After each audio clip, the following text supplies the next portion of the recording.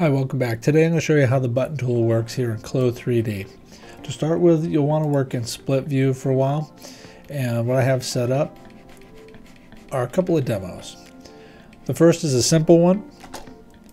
I have a placard here and it's stitched together and it's strengthened. You don't necessarily have to strengthen, but what you want to do is draw an internal line down the center.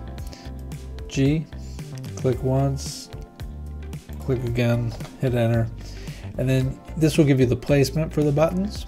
In the 3D window, grab the button tool. I'm going to start up at the top here. I'm going to click once to activate it, and then I'll click again and it will set a button. And it will just give you the standard button to start with. Then grab the button select tool, click it, and I'm going to copy paste. And when I go to paste here, it'll stick to the mouse, and then I'm going to right click and this will bring up the dialog box. How many do I want? And I'm just going to do three for now at a distance of 5.5 just so for our demo we see four buttons lined up on the placard and you can do as many as you need and that's good. Now with the selection tool I'm going to copy and paste that one over. Now we want uh, these to be buttonholes and since they're perfectly aligned it's pretty easy with the button selection tool you can click and drag across all of them, right click and convert to buttonhole and there you go. By the way, if you want these to be uh, facing a different direction, if I click across all of them, it brings up this option here and then I can hit maybe 180 and flip them over. It's up to you. And now let's uh, stitch these together. First I'm going to stitch this placard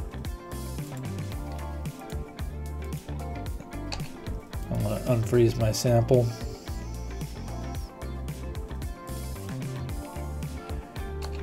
And positioning is important because of the physics involved. Uh, we don't want these two placards to be fighting with one another. So I'm going to try and put the one that it's buttoning through on top.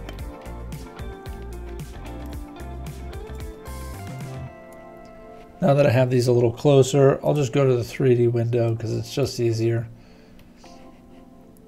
I'm going to grab the button lock tool and click once on the button and then another time on the buttonhole.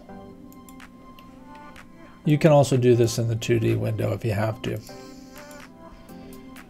With them all done, I'm going to grab my select tool and I'm going to simulate. You can see that it's buttoned.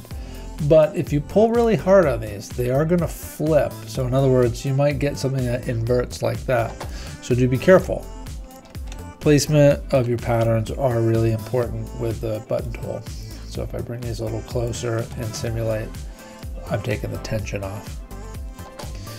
Okay, let's move over to another example here. In this example, I'm going to make a double-sided placard, which is pretty common.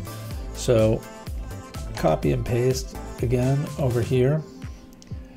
Grab the button select tool, click and drag and right click to convert these to a buttonhole. Now copy and paste and this one's going to go behind. So I'm going to rotate my view, put it back here and drag it behind it. By the way, if these don't line up, or in this case, you want the uh, backside of the fabric to be facing the other way, you can hit Control G to flip the normal. Sometimes that'll flip the uh, buttonhole tool, but not always. So you may need to come over here and with the button select tool, just click on these and you can shift click to select them all and rotate those 180 degrees. Okay, now that they all line up, let's stitch them together.